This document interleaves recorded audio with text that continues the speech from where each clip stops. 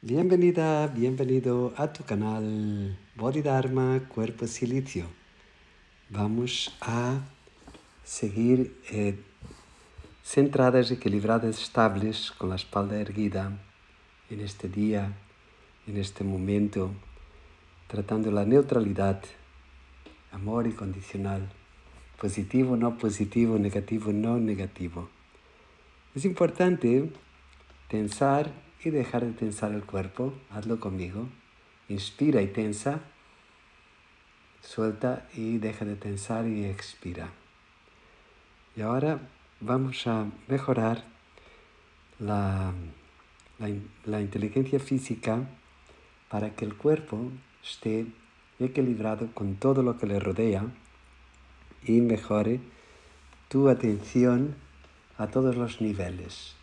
Hoy es un día potente porque estamos llegando al fin de semana, estamos llegando al solsticio de invierno, digo, ay, perdón, de verano. Igual es que tengo ganas de que llegue el frío. Al solsticio de verano y eh, es un momento de apertura tremenda del yang, mucho, mucho fuego.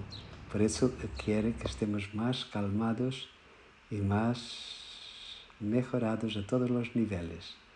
Así que te invito a estar centrada, equilibrada, estable y vamos a sacar una cartita que nos lleva a ver qué vamos a trabajar y es la receptividad.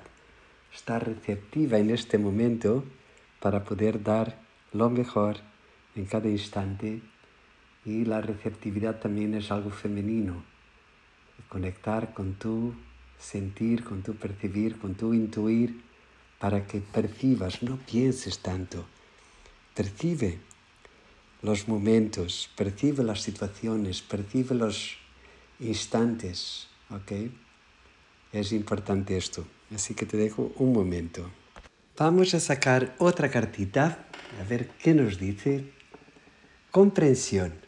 Salir de esta jaula de ignorancia y entrar en una comprensión, porque eh, conocerás la verdad y la verdad te hará libre. Así que te invito hoy a estar en esta frecuencia elevada de tratar de comprender y tratar de liberar todo lo que está limitándote para que puedas seguir eh, creciendo en amor incondicional, en neutralidad. Es un regalo estar aquí con vosotros en este día. Hoy vamos a aprovechar, es el día antes del solsticio y vamos a estar centrados, equilibrados, estables, sin mente, dejar la mente en otro, que se ocupe de otras cosas, mandarla a hacer la compra, mandarla a, a investigar cuáles son los productos más baratos y dejar que solamente la inteligencia de nuestro cuerpo, que es la inteligencia animal, si os dais cuenta, los animales eh, tienen esta inteligencia física y trabajan mucho. Por ejemplo, este gatito, yo estaba trabajando en el jardín, este gatito apareció, él no me conocía de nada, pero fíjate qué relación más bonita ha hecho conmigo en este... Y, y yo estaba alucinado con sus ojos ¿eh? y él también estaba muy contento, él o ella, porque a mí me daba la sensación que era ella porque era muy pequeñita.